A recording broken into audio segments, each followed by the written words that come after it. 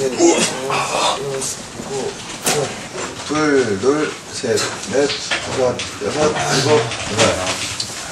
그럼 회의 진행하겠습니다.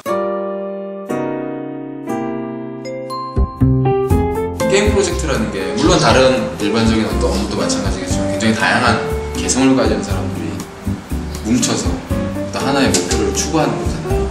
근데 그렇기 때문에 다른 사람과 내가 다르다라는 걸 인정을 하고 하는 게 굉장히 커뮤니케이션 활성화에 중요하다고 생각을 하는데 그 중에서 이제 일일 회의 같은 경우에는 사실 동료 간에 어떤 일을 현재 하고 있고 그 결과물을 같이 리뷰하는 자리를 통해서 동료 간에 서로 칭찬을 할 수 있는 기회가 있다라는 거죠.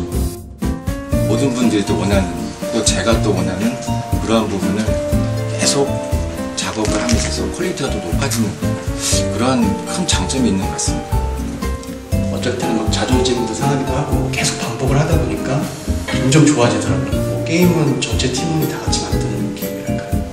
발전한다고 생각해요. 우리가 좀 더 고민할 수 있는 그런 시간을 만들 수 있는 것 같아요. 이야기를 하면서 더 좋은 아이디어도 나오고 예, 그런 굉장히 좋은 시너지 효과가 있는 것 같아요.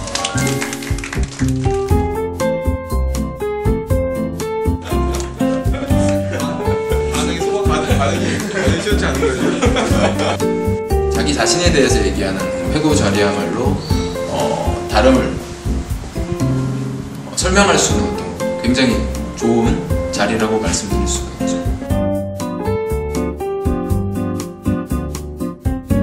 제가 어떤 것에 관심을 갖고 어떤 것을 여- 중점적으로 할 수 있는지 그리고 또 거기에 대한 반성도 할 수 있고 그런 코스를 잡아주는 게 되게 좋은 것 같아요. 네. 개발 저희 팀 안에서도 어떤 호흡 주기가 있어요. 마치 심장 박동처럼. 한번 뛰고 하루 정도 쉬고 달리고 쉬고 그런 어떤 쉼표 쉼표마다의 어떤 마디마다 어떤 주변의 상황이 변화, 변화 된 것들을 이제 흡수를 하고 다시 의사결정을 하고 우리가 올바른 방향을 가고 있는지 방향성을 다시 재조정하고 그런 어떤 문화를 갖고 있습니다.